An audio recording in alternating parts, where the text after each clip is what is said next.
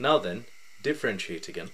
We will discuss without a fuss. We come to use to, in my humble view.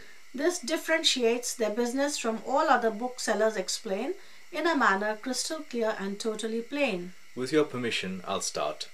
Make different, distinguish, set apart. At description 3 we can see Separate, mark off, single out are three descriptions without a doubt.